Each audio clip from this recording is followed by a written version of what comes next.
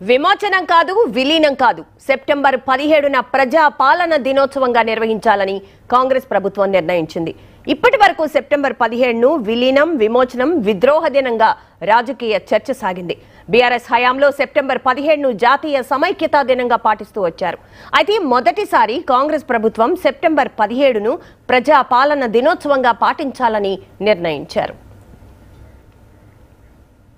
ప్రజాపాలన దినోత్సవాన్ని ముప్పై రెండు జిల్లాల్లో ప్రభుత్వం అధికారికంగా కార్యక్రమంగా నిర్వహిస్తోంది. ఈ సందర్భంగా ప్రజాప్రతినిధులు జాతీయ జెండాను ఎగురవేయనున్నారు. ప్రజాపాలన దినోత్సవంలో పాల్గొనున్న ప్రజాప్రతినిధుల జాబితాను విడుదల చేశారు.